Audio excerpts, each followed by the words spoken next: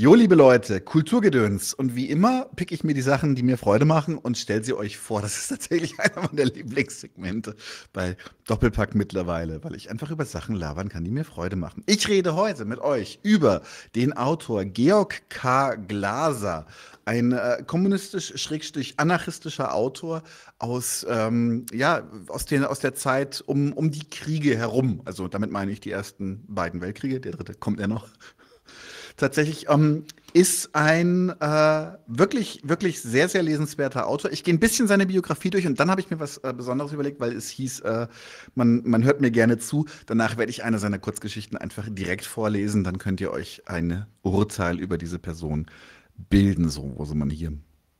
So, also Georg Glaser. Ich habe auch ein Foto von ihm. Er sieht recht herb aus, aber irgendwie ist das auch typisch für Menschen, die ich richtig spannend finde. Die gucken alle immer irgendwie herb. So, das ist Georg Glaser. Ich habe das nicht verifizieren können, aber mir ist mal erzählt worden, dass die Narben, die er im Gesicht hat, sind von der Misshandlung durch die Gestapo.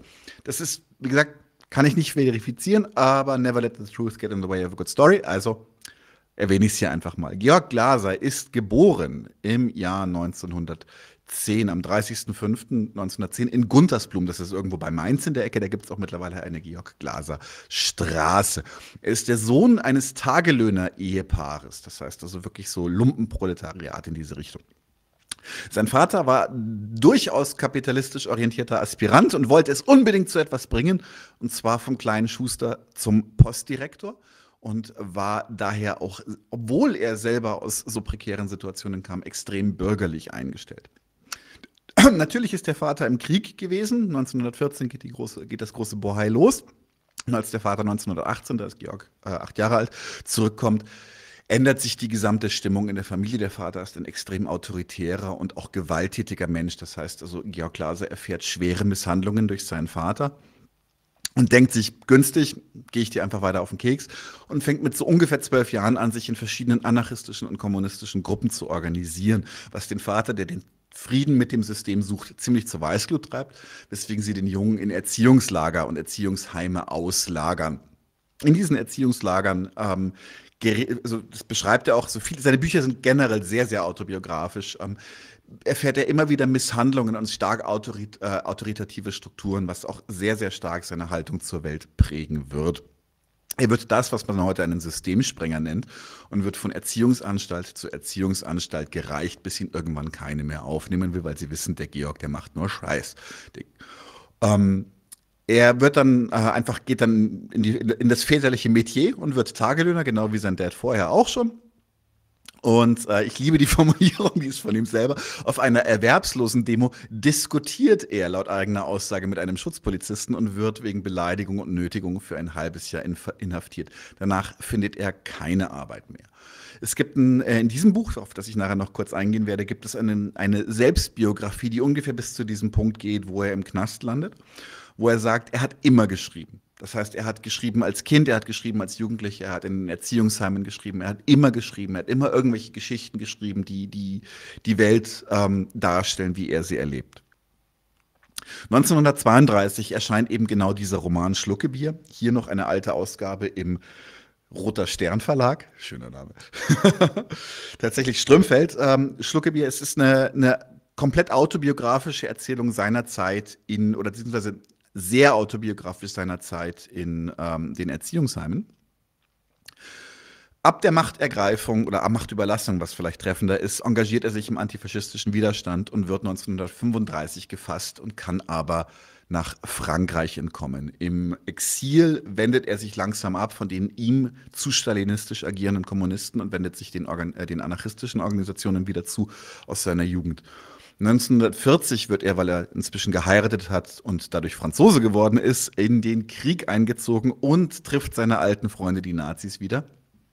Und wird auch gleich in Kriegsgefangenschaft verbracht. Und zwar gleich im ersten Jahr 1940. 1943, weil er halt ein alter Gauner ist, gelingt ihm wieder die Flucht aus dem Strafgefangenenlager.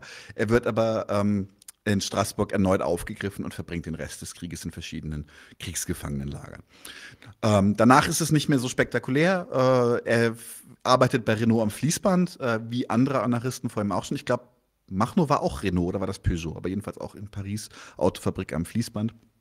um dann später eine Gold- und Silberschmiede zu gründen. Er schreibt fleißig weiter. Er schreibt dann nachher noch sein, viele sagen sein Opus Magnum. Ich persönlich mag Schluckebier noch ein bisschen mehr Geheimnis und Gewalt, ähm, das aber keinen Verleger in Deutschland findet, weil es eine sehr, sehr raue, sehr, sehr klassenorientierte, auch durchaus gewalttätige Sprache ist findet das die deutsche Nachkriegsintelligenz äh, ja nicht so ansprechend. Er wird in Frankreich bekannter, als das in Deutschland ist, obwohl das in Frankreich alles Übersetzungen sind.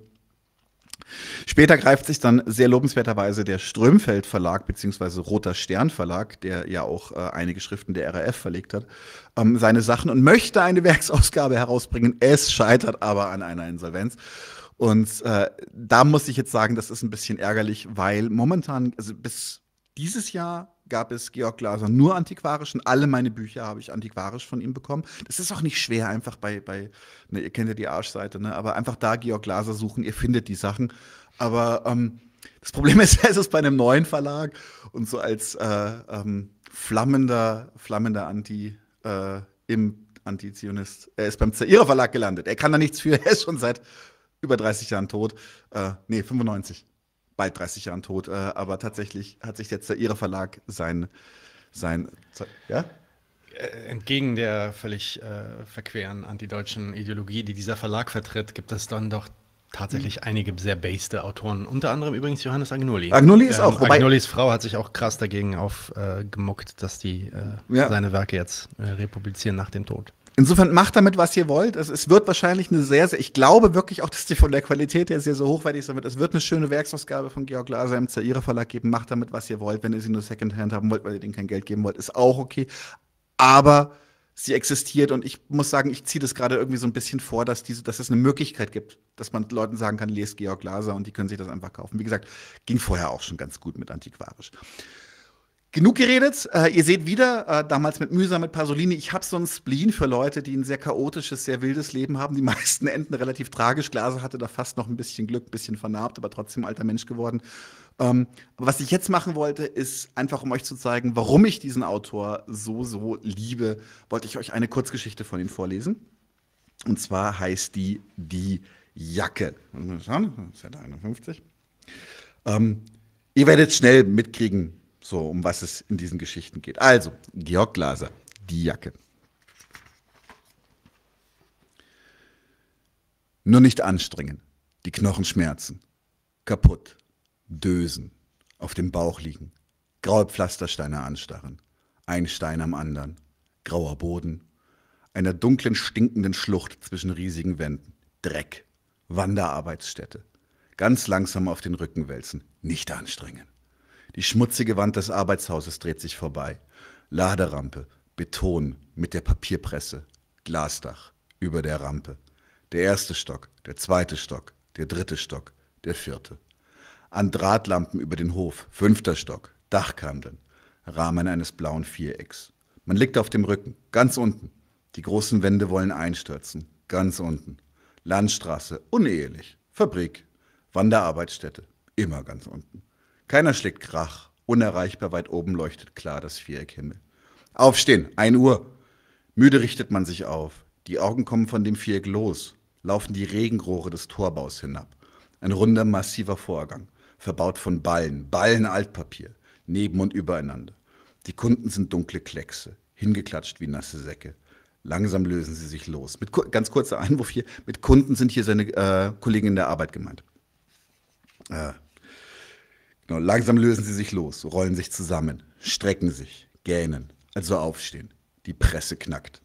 Die Presse vollstopfen, vergriffene Hüte in müden Gesichtern. Decke aufsetzen, schwer. Verbohrt mit verkniffenen Lippen schaffen die Kunden. Hebel runter, knack, rück. Kein Hand in Arbeiten, kein Hand in Hand arbeiten. Nur ein Muss. Deckel ab, Form weg. Keiner traut dem anderen über den Weg. Hau ruck! Das Einzige, was gesprochen wird. Ein Kommando. Alles schläfrig, wortlos, mürrisch. Vollstopfen, Deckel aufsetzen, Hebel runter, Knack, Form, Ballen raus. Kommando, hau, halt! Die Arme halten erschrocken ein, durch eine Sekunde Ruhe. Ah! Dann rennen. Ein aufgeregter Klumpen an der Presse und langsam wird dein Körper weggetragen. Leise. Ah, ah. An dem langen Gestell vorbei, an dem die Jacken hängen. 170 Jacken. Die Hand des Verunglückten streift vorbei. Die Jacken pendeln leise hin und her. Die kleine Stube des Aufsehers hat ein Feldbett. Die Tür ist geschlossen. Das Stöhnen ist gedämpft. Die Kunden drängen sich vor der Schwelle. Über der Treppe, Vorplatz in den Hof. Aufgeregt, rauchen, besprechen Einzelarbeiten. Allmählich wird es ruhiger. Eine Frage taucht auf, wird zum Mittelpunkt. Warum kommt keine Hilfe? Hilfe für einen Kunden? Kein Arzt? Ein studierter Herr zum Kunden? Die Tür geht auf. Ein großer Mann, stoppelig, der Freund des Verunglückten. Der Arzt hat keine Zeit. Er ahmt grimmig das Hochdeutsch der Stimme im Telefon nach. Er ist verhindert. Sobald er Zeit hätte, würde er kommen.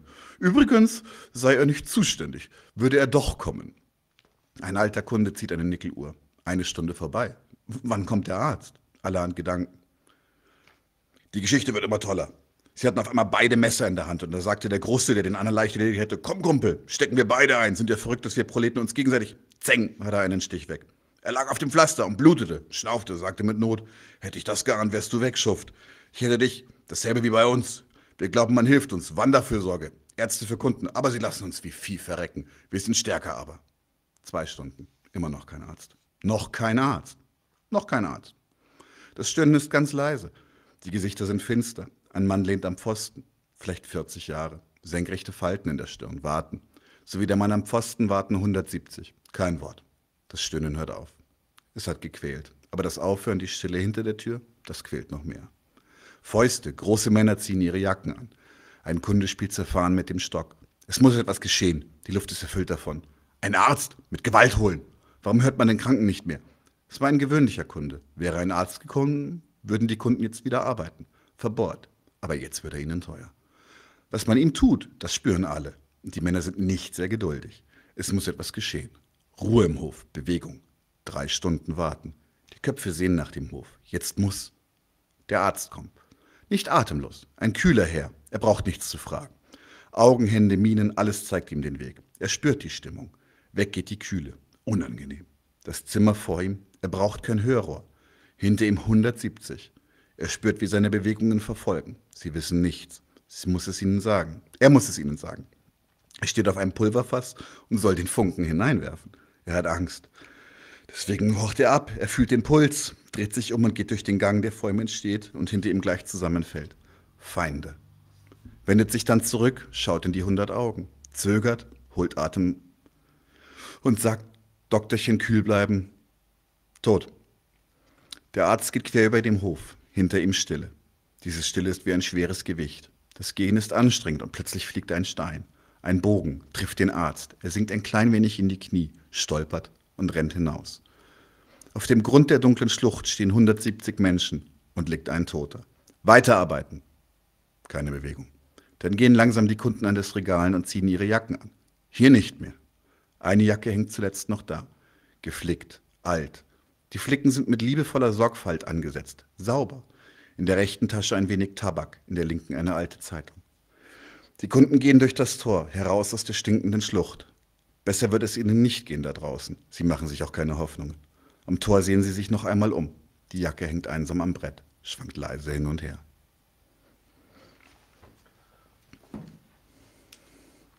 Also, das hat doch jetzt einfach mal einen Applaus verdient. Also ganz großer Tipp.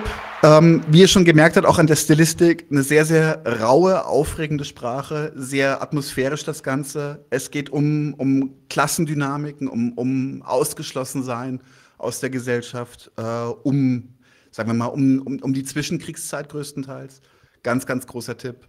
Jo, Nice. Und ich muss sagen, ähm, du bist auf jeden Fall unser Kandidat für äh, Hörbücher, die wir aufnehmen wollen bei 99. Gerne, gerne. Hast du gut gemacht. Leute, wir brauchen eure Hilfe. Wenn euch dieses Video gefallen hat, klickt auf Like, abonniert den Kanal und vergesst nicht das Glöckchen zu drücken, damit ihr benachrichtigt werdet, wenn wir neuen Content droppen. Außerdem solltet ihr uns überall folgen, wo wir verfügbar sind. Das ist Facebook, Instagram, Twitter und Twitch. Und wenn wir irgendwelche Ankündigungen machen oder Posts, dann shared, was das Zeug hält. Gebt uns all eure Liebe. Wir haben mittlerweile ziemlich signifikante Kosten. Wenn ihr es euch irgendwie leisten könnt, unterstützt uns doch auf Patreon. Dann kommt ihr auch in den Genuss verschiedener Vorteile, wie zum Beispiel Zugang zu unserer Discord-Community oder Zugang zu den ultrageheimen Patreon-Episoden, die wir dort posten. Außerdem könnt ihr uns natürlich auch über PayPal mal Spenden zukommen lassen.